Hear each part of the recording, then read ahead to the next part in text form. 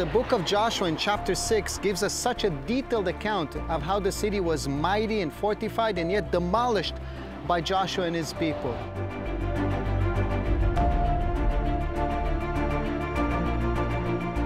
He addresses Goliath as an uncircumcised Philistine.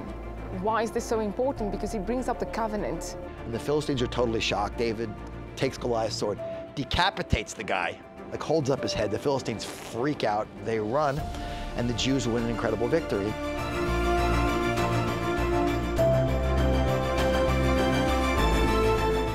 You know that archaeologists love destructions because, you know, the misfortune of the ancients is our fortune. We even found an inscription which mentions two names that are very similar to the name Goliath.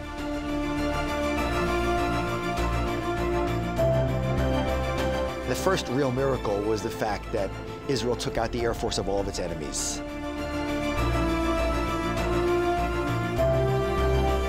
One percent of the population was killed in the war.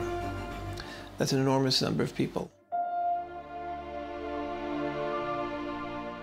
Why would a loving and just God favor one nation over another, ensure their continued survival, and promise them, and only them, this land?